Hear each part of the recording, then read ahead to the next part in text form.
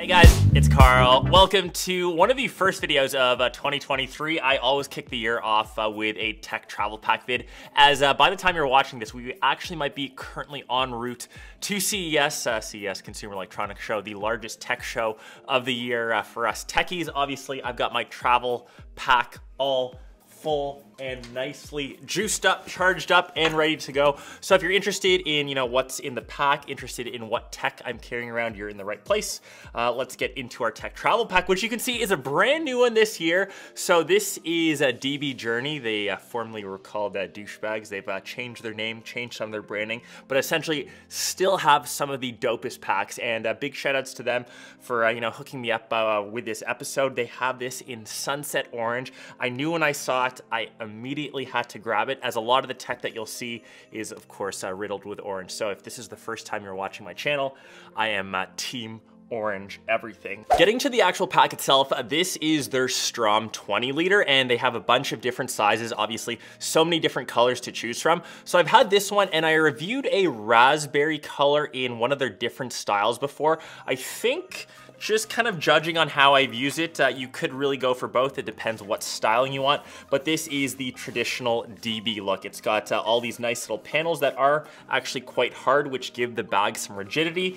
And of course, around the outsides, I know that most packs tend to pick up a bit of wear and tear, but what I love about DB bags, they actually are made of this nice little nylon material. You can kind of hear it. So even if this does get brushed or dirty, you can easily clean it off. And that's the same thing with, uh, you know, what's on the back. So to some of the bag features that make it, uh, you know, a little bit techy, they obviously have this nice little zipper on the back. This is typically where you put your laptop. So I will kind of bring mine into a question. I'll talk about it in a second. It's the MacBook uh, Air, but you can see how that slots perfectly into there.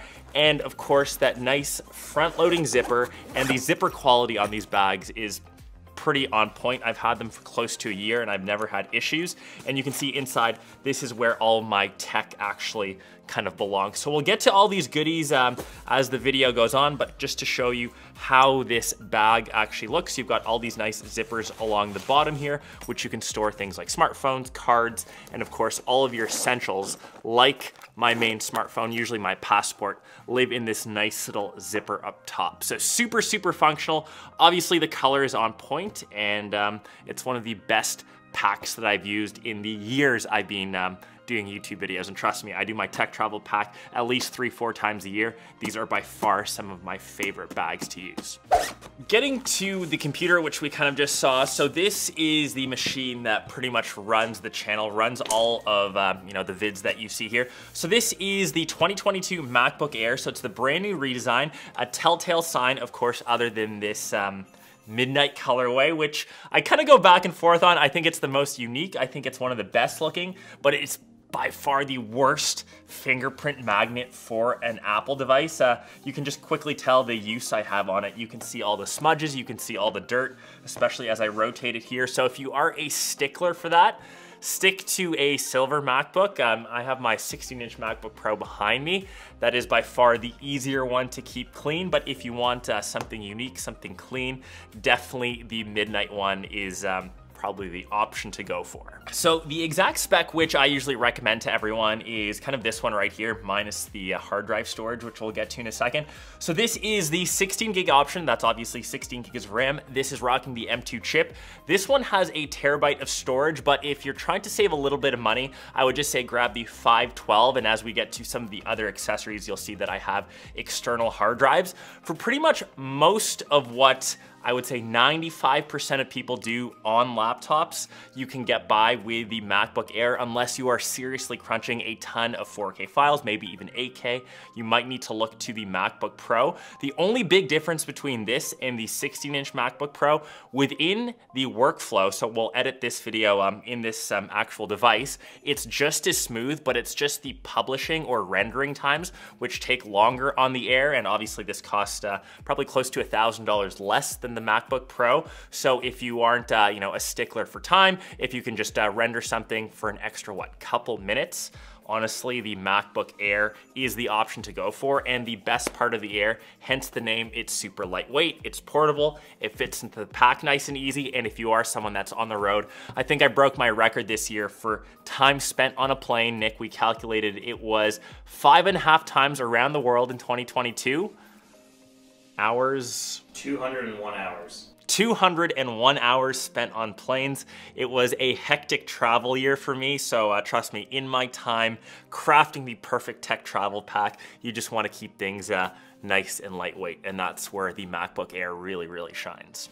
So switching on to devices, and I'd argue you're probably on your smartphone the most out of probably any piece of tech, uh, no matter what you kind of carry around. So my main one, my bread and butter, has to be the iPhone 14 Pro Max. You'll notice uh, I am pretty heavily skewed into the Apple ecosystem. I've kind of just been sucked into its black hole. I like all things uh, iMessage, AirDrop, Final Cut. Uh, those are all things on Apple. I just can't seem to leave. But for the 14 Pro Max, I will say the video quality on an iPhone is by far leaps and bounds better than what we see across any device. Um, watch any YouTube video, watch any uh, tech reviewer.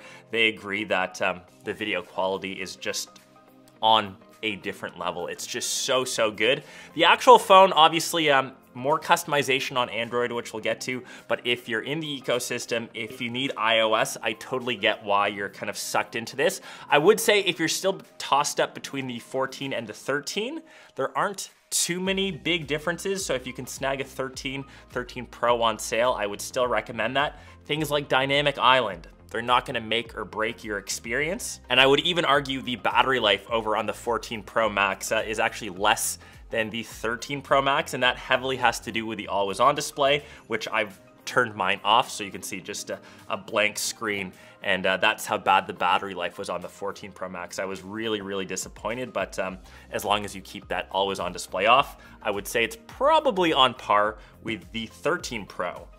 Getting to my Android device, and I mentioned that I am primarily on my iPhone, but I switch out my secondary device usually to the phone that I test out over on Android.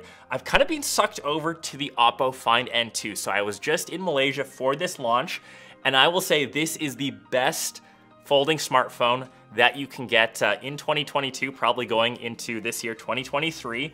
It is so good. I love the form factor. I love how it's actually a lot more usable than say the Galaxy uh, Z Fold. You can see that it's actually a slightly different aspect ratio. So even that cover screen, I would say that it's more usable than what we have over on the Galaxy Z Fold. It isn't as tall, it isn't um, as slim. It actually feels like a fully functioning phone.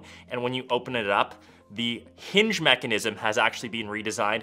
And what's nice is you can't actually see that crease, which is, I think, the bane of my existence. I have that bit of OCD, like I mentioned. You can't really see that crease, especially off angle.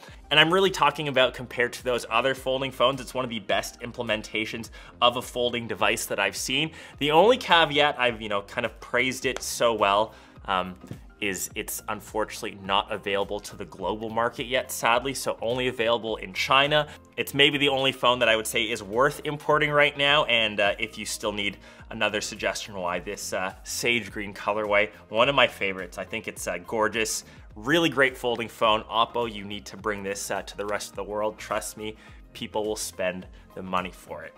Switching on over to a tablet, so uh, I've kind of gone against uh, the bread and butter here. So I know most people will uh, kind of swear with their iPad Pros or even iPad Airs. I'm a bit weird and love actually the iPad mini, which I have the smallest soft spot for. The biggest reason why is this right here. It's uh, the palmability, which I've coined as one of my own terms. You can use this in one hand and still fully use it as a normal device. I almost liken this to a larger iPhone.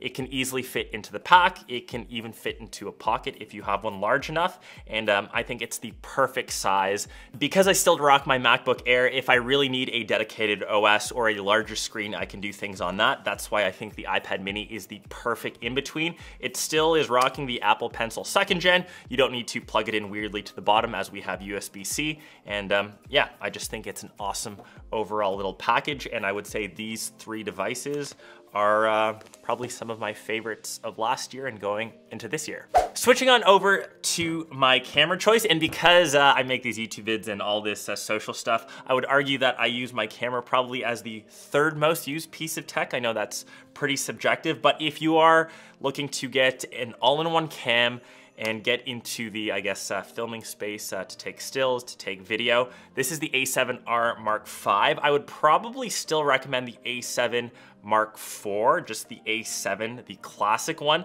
The R obviously has the higher megapixel count, slightly overkill for you know all the social stuff that I create, but I've been blessed um, with Team Sony as they sent this one out. Um, it's just such a good camera. It's a 61 megapixel beast for stills, like I said, because I'm mostly posting to social. Definitely overkill, but for the video side, it can shoot up to 8K, which gives me the best possible uh, resolution to crop in and to kind of scale in if I need to. I do shoot an S-Log3, but uh, for those of you that don't, need that 8K or need that 61 megapixel massive sensor, like I said, the A7, just the standard A7 Mark IV, I believe, it's a thousand or $1,500 cheaper is probably the route to go. And for my lens of choice, the bread and butter, once again, I've said that for a couple other things, the 24 to 105 G Master, it has optical steady shot. It is only an f4, but I love the versatility. I love the fact that I just need one lens to rock around, um, the one lens to rule them all has to be this one. If I could say the A7 Mark IV plus this lens would probably be my recommendation to most of you out there. But um, if you do have the extra money and want to shoot in 8K and be an absolute boss, a megapixel boss, then yeah, you'd have to go for the A7R Mark V. Wearables. Um, we are kind of switching on over to the Apple Watch. Like I said, once again, in that Apple ecosystem, I rarely wear my Apple Watch. I'm more of a, an OG watch guy. Um, but when I do wear an Apple Watch, mostly for working out, so you can actually see how much um, I wear a watch. I still have this uh, nasty, nasty watch tan from all of my travels this year. But I do like the Apple Watch Ultra. I'm not even ultra enough to fully justify the name.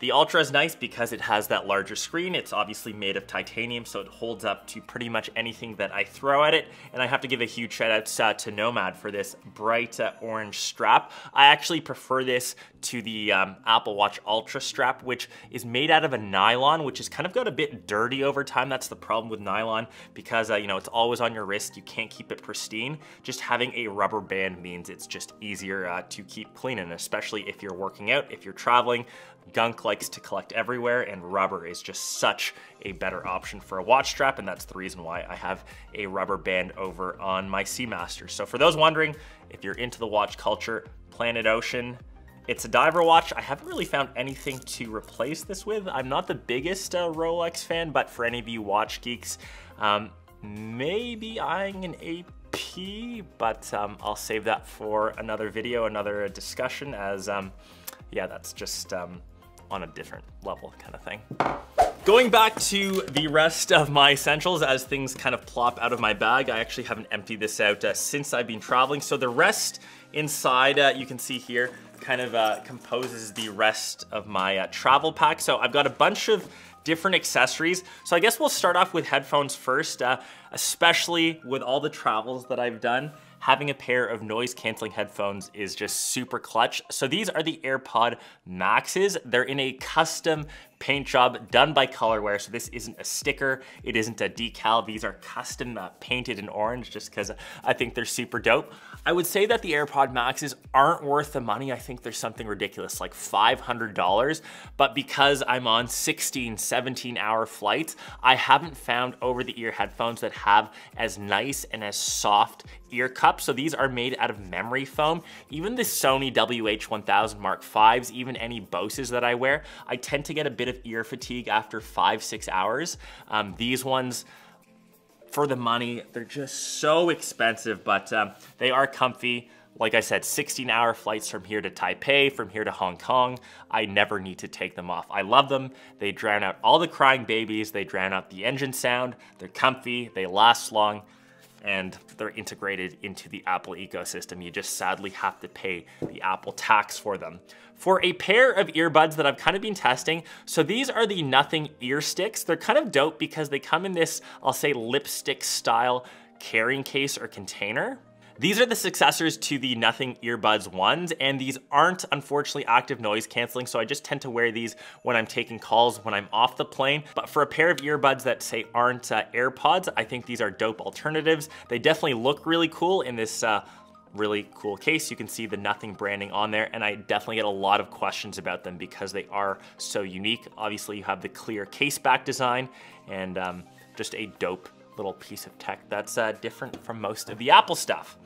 Switching on over to this little guy. So I mentioned I haven't actually taken this out of the pack yet. So this is a Peak Design carrying case and inside of here I keep all of my accessories so they're not just floating around loosely on the bag. So inside you can see that I have just different sorts of cables, chargers, and accessories. So I do have a Batis 18 mil. I use this uh, solely just for vlogging, which I did a bit more of this year. I came out with two big Dubai and Malaysia vlogs. I'll leave links up here. And of course, all the necessary charging cables. So for my MacBook Air, I have this larger adapter, but I would argue I use this probably more. So this is the dual charger from Samsung. It can charge 65 watts for the main one and 25 watts for the secondary. And it also has a traditional USB-A for some of those relic pieces of tech. And if you can name these cables, I'll give you a hint. This red one obviously is for OnePlus, and this braided cable from, I think it's from my Pro Display XDR. So this was the ultimate cable flex. I think Apple sells these now separately, but um, if you really wanna get into uh, tech nerdiness, flexing um, iPhone cables is probably up there um, in terms of uh, weird things that uh, we techies like to talk about. Inside of the rest of the pack, I do have those hard drives. So I just have two floating around. I kind of interchange these. Um, I mentioned that my MacBook Air is the one terabyte option, but for most of our stuff that we shoot, for example, in CES, I'm sure we'll shoot over 500 gigs of footage. So I'll probably fill up one of these hard drives. They're just great to have, easy to carry around and um, interchangeable. So always great to have external hard drives. Another piece of tech that I really found useful this year, it's this little Aputure little light, LED light. So if you've ever been to CES or seen footage, you know that it's a traditional uh, convention space. It doesn't have the best lighting, so having one of these little uh, LED boxes or when I'm on the go, just having them to shine extra light onto products that I'm reviewing, it's super, super useful. It's actually by LED, so you can change the color temperature. So you can go all the way from 6500, so nice cool light, and you can scroll all the way down to 3200 to give something very warm light. Obviously, you can change the brightness, all of that stuff. It's made by Aputure, super handy and charges via USB-C. And for a little mouse, this is just the Razer Orochi V2. It's one of their custom lines, so you can see I just put my little handle, my gamer tag slash my social media tag, um, just for a bit of self-branding, especially since I've probably stayed in more hotel rooms than my actual room this year, um, just not wanting to use the trackpad, just using a traditional mouse is way better on my wrist. So that's kind of what lives in this little Peak design bag. Like I said, it's just easy to zip up. And if I can actually organize this, everything is just nice and compact. And like I said, so all those cables, all those accessories, hard drives aren't floating around freely inside of my pack. So definitely useful from Peak design. And to wrap off the video, something that always comes with me um, on my travels because I go to a lot of uh, sunny, hot places, I always carry a pair of shades. I know it's not really tech related, but so many of you have asked. So these are just a pair from Persol. I like them because uh, they're a bit different than most other shades. They've got uh, some green tortoising. And if you've ever seen any of my Instagram photos, I'm probably uh, rocking some shades on them. And um, I think that's just one of my essential pieces that I like to carry around. That is pretty much all the tech and accessories that I've been rocking um, in 2023. So I hope you guys enjoyed this vid. Hey guys, it's Fisayo here, and this is my tech bag that contains my everyday carry. Basically, the stuff I move around with, and it's the same bag from last year with many different tech products inside it, and some new ones that I'm eager to talk about. So basically, this is what I'll take with me if I'm going out for a while, and it will be very useful for my work or if I want to film somewhere. Without further ado, let's get to it. So firstly, let's start with the bag itself. It's a Manfrotto backpack. It's called the Manfrotto Advanced Too Fast Backpack and I've had it forever. What I love about this bag is the compartmentalization. I think I showed this in my previous video, but the bag can take a few cameras and it will still be fine and well arranged, although it will be quite heavy. All right, so let's get into what's inside this bag. The first category will be the items I use for work and work related activities. And when we open this zip right here, we get the MacBook Pro, my 13 inch M1 MacBook Pro from 2020. It's a base model MacBook Pro with 16 gigs of RAM and this is my go-to laptop for quick stuff like taking notes, uh, jotting down ideas, writing stuff down, and replying to some emails. I occasionally do Photoshop or thumbnail designs here and very light video editing. Our main editing machine is the 16 inch M1 Max and we have other M1 Pro devices that we use. But this one, this, this one is my personal computer of choice. Of course, I can't take the 16 inch M1 Max everywhere, but this is more compact and it's easier to fit in my bag. And it's easier to just carry when I'm on the move. As far as the bag though, this slot right here is very, very thick and it's very padded. So your laptop is well protected. It just, you know, slides in there and it's very secure if you will. For the next item in this bag, it would be in this compartment here. That is my laptop charger and cable. So this is a USB-C to C cable. It's very thick and it has some yellowing on it. It's quite old. Then the power adapter. And I have something extra. So this is the three pin mount and I have an explanation. So if you order a laptop from the US, you will get something like this. This is the two pin charger right here. It is unreliable because it doesn't it doesn't stay on the wall when you plug it in. So I had to get this three pin one and I just slide it in. This stays in the wall, it's very secure and very sturdy. So um yeah, just something to keep in mind. The battery life on my laptop has been pretty okay so far. I sparingly bring out my charger except when I'm editing videos. If I'm designing something, I can easily get good use from this laptop. And I feel like I might even switch to the 14 inch M2 MacBook Pro, maybe for the features and also since the charger is MagSafe. I like the way it snaps though. This one is feels outdated already. The next item is in this compartment here it's my mouse. My mouse of choice is the Logitech MX Master 3. I've had the MX Master series since the original one from the MX Master to the MX Master 2 and now the 3. Although I've had some issues. For the first one, I had some issues regarding the page button, which is this button right here. And sometimes even this MX Master 3 just cuts off scrolling for no reason. To fix this, I just had to shut down the Logitech program in the activity monitor and it runs back just fine. Other than those two issues, this mouse has been a breeze for me to use. They last for months on battery alone after a single charge and it also has a USB-C port which is very nice. It's a very reliable mouse. I've used the MX series for nearly all my design and video projects and it's got a lot of buttons. It's very ergonomic in the hand and nice and it's very clicky. You can customize the buttons however you want and make it work for you. So there you have it. MX Master 3, highly recommended. For every mouse that you have, you need a good mouse pad. And this is a random mouse pad I got from Amazon. I don't even know what the name is. And it has this elastic, uh, sticky surface on the bottom of it. So it sticks to the table so your mouse doesn't move. It's just very nice. And it has this thing to rest your, your wrist on. The next item is the headphone of choice, the one I'm very proud of and many long-time followers of the channel would know.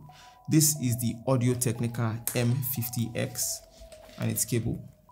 I found myself ordering this headphone headset headwear. Anyway, I find myself ordering these headphones over and over again. I've given this as a gift. I've used it since the beginning of this channel and it has never failed me. They are not wireless, they have a cable, like I said, and they sound very natural. The I think Audio Technica made a very great product with this headphone and um, I can't recommend it enough. It's very good. So because I've got the base model MacBook Pro with just 256 gigs of storage, I have to go around with an SSD. That is just in this top compartment right here. So this is the SanDisk SSD. Instead of paying Apple exorbitant amounts for additional storage, I can just get something like this. This is one terabyte. We also have two terabytes. I think we have we have like 50,000 of this in this studio. anyway, if the files are large, I would probably edit off of this thing myself if I can't get enough from the laptop's storage. And I think these are cool and they come in handy many many times. We can't talk about everyday carry without talking about smartphones. And right now my main phone would be this guy the iphone 14 pro max. It's the newest iphone the best iphone that apple makes. Uh, that best part is a bit debatable because uh, if you it's a bit debatable if you have the iPhone 13 Pro Max anyway, but um, that's a story for another day. As far as my Android device of choice, it would be the Pixel 7 Pro, and I went from the S22 Ultra, I transitioned from the S22 Ultra into this guy right here. Plus, it also takes very good photos that represent my skin tone far better than this iPhone 14 Pro Max. All right, wireless buds, wireless earbuds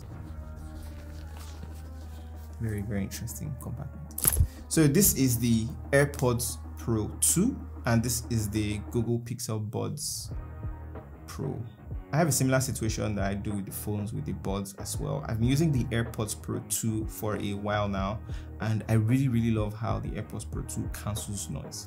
If you're looking for buds that um, you know are this good and you have the budget, I highly recommend the AirPods Pro 2. However, I've encountered some slight problems with the AirPods Pro 2 because sometimes they just cut out when I'm scrolling on Instagram, the sound just cuts out, but you know, they've been fine for the most part. As far as the Pixel Buds, I use them as substitutes for the AirPods Pros.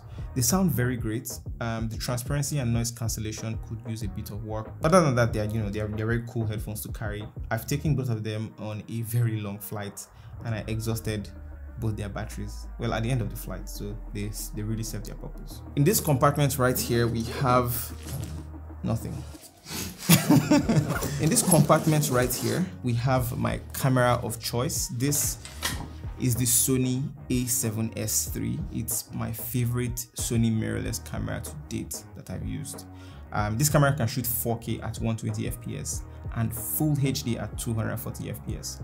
We've used this for our primary A-roll camera from 2021 on the channel until the end of last year when we switched to our beloved cinema camera right here, this one, the Sony FX6, which uh, we still use the A7S III to shoot our reels sometimes.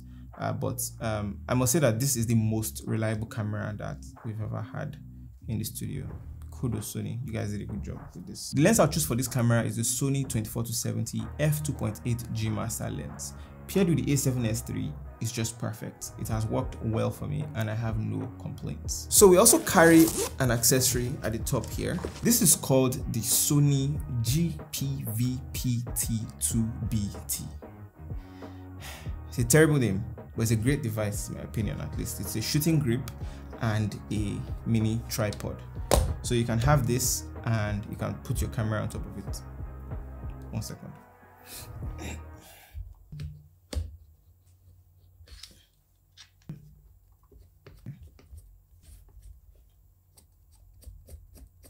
You can have your camera in this position if you want to shoot, you know, a landscape video on a flat surface as well or you can have it in portrait mode for reels or shorts and it will work well if you've even got a phone hey guys it's Fisayo here and we're recording something right now with the Sony GPT VP2 TBT ChatGPT lens thing whatever this is. It can work well with your phone if you've got a phone holder. You can hold it to vlog with your camera and it's also nice to use if you can control the camera or if you've got a camera that you can use the control buttons on the device. I made a whole video about the best Sony cameras that you can get and I mentioned this accessory in that video. I have the video linked in the description as well so you can get more details about this.